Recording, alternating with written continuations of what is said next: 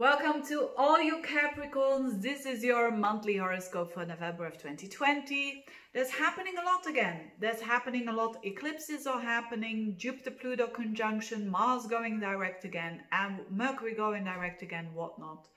But anyways, let's get started with the eclipses. Now, the eclipses are not that important for you because they're not in key areas of your life. This is um, a lunar eclipse at the very end of the month on the 30th of November and it is an eclipse that belongs to the Saros cycle 4 South. Has to do with relationships, has to do with strong emotions, fated relationships. Um, it's quite intense. But again, for you, dear Capricorns, it's more on a level of your day-to-day -day work.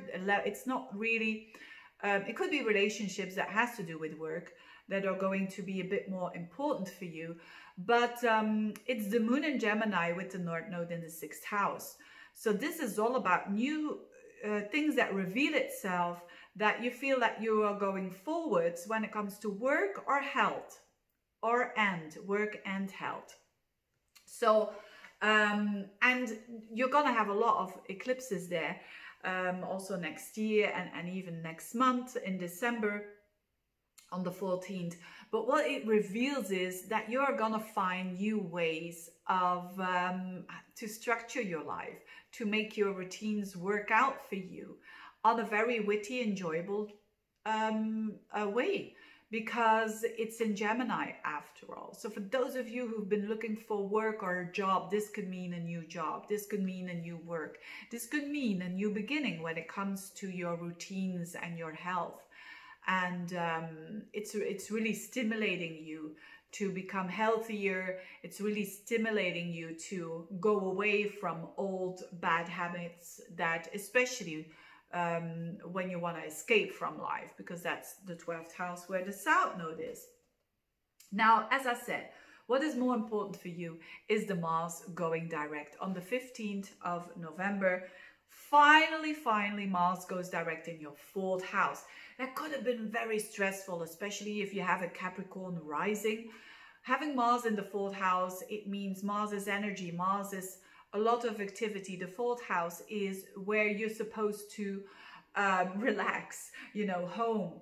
Um, so, but with this Mars going direct on the 15th, in combination with the new moon in Scorpio in your fifth house of self-expression, the heart chakra, children, romance, it can mean that at the same time, around that same timing, when things go forward on an emotional level, you feeling stronger than ever, you feeling on an emotional level not so much restricted by yourself, um, because this Mars was bumping into Pluto and Saturn in your sign. So you were the one that restricted yourself, consciously or unconsciously, probably consciously. But um, the thing is that things can go forward now um, with uh, around about the 15th of November and onwards. Project that has to do with buying, selling houses, projects that has to do with work from home. Maybe you tried to do that, but it was like, uh, it didn't work out. And now things are going a tiny little bit more, having more momentum there. It's not all over yet with the stress, because Mars next month in December is still going to bump into Pluto. So there's still some fears, there's still, still some transformation that needs to be made. But whatever it is, whatever the new thing that you want to do, considering your home life, considering maybe work from home, considering um, renovations and whatnot, it could mean that even it goes so slow for you, um, you're getting somewhere now now. And you're seeing that around the midst of November and onwards that um, yes there can be still some restrictions some fears some uh, but you're persevering that is actually the message you know if you really want to make some new changes considering home family uh, you can do it absolutely there can come out some really good results there but that's more for uh, December time when this is um, this uh, aspect between Mars and Pluto is over. So still a lot to come there, uh, but also still a lot to look forward to because Jupiter and Pluto are going to conjoin on the 12th of November in your sign. This is like secrets revealing itself. about yourself. This is like you showing your true self, your raw self, your authentic self. And because of that, it's going to empower you and also your relationships. So when it comes to relationships, there could be really revelations there, but it's because of you. You, it's because of you show who you truly are. There's no hiding anymore. Uh, if it, if there has been hiding with the Jupiter and the Pluto. It's like this transformation. It's like this, this um, revealing of the true modus of, of you.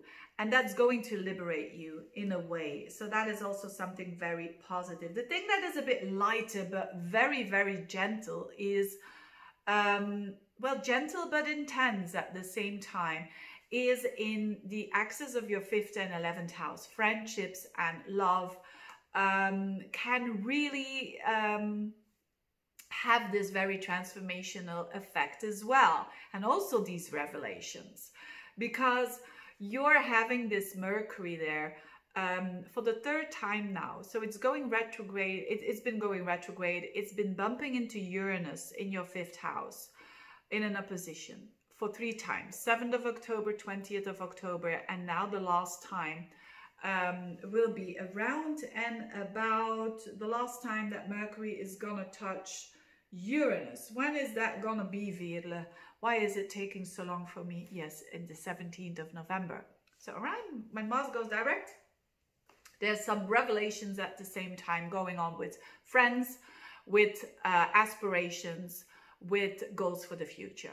So for a lot of you, this means that yes, this is this was a, a piece of the puzzle that you were missing. Now you know where you're heading at. You're having these new ideas for new goals, new aspirations. And when Venus will be also in your 11th house on the 21st, it's fantastic for socializing, networking, um, money that you gain from your own company, if you have your own company, because the 11th house is also financial house, if you have your own company, second house from the 10th house, that is. Um, but when it's not on a financial level, it's certainly, there's something brewing there when it comes to friendships. There could be one friend revealing something to you. And it's scorpionic, so it, it, it, it was hidden and it's transformative it changes everything. It's like aha moment. Are you revealing something to them? But whatever it is, let's say for instance, you had a friend, you're single. This could mean like this friendship becomes more uh, of just a friendship. It's it's turning into a romance with Mercury there and Venus there and opposing Uranus and all ha happens out of the blue because of these revelations. Um, so this, this is very exciting for, of course, when you are single um, and um, but it can also happen when you're not single right you know when you're not single someone can reveal to you that they have a crush on you or you having a crush on someone else it's, it's all possible but whatever it is it is about something that transforms it is about freeing up energy and now you know where you stand with that friend it doesn't always have to be romance. It can also mean that a friend, there is some revelations around that person that you didn't know that was happening behind the scenes. And now you understand them better and therefore the relationship deepens, strengthens. Or you're saying, I can't deal with that. You know, is that what this person is all about? Or, or um, you know, it, it depends on, on your context, of course. So very interesting indeed this month with a bit of everything, you know, changes when it comes to home, family, uh, work uh, from home, and there could be a new job as well with this uh, eclipse. Also a bit of romance there for sure.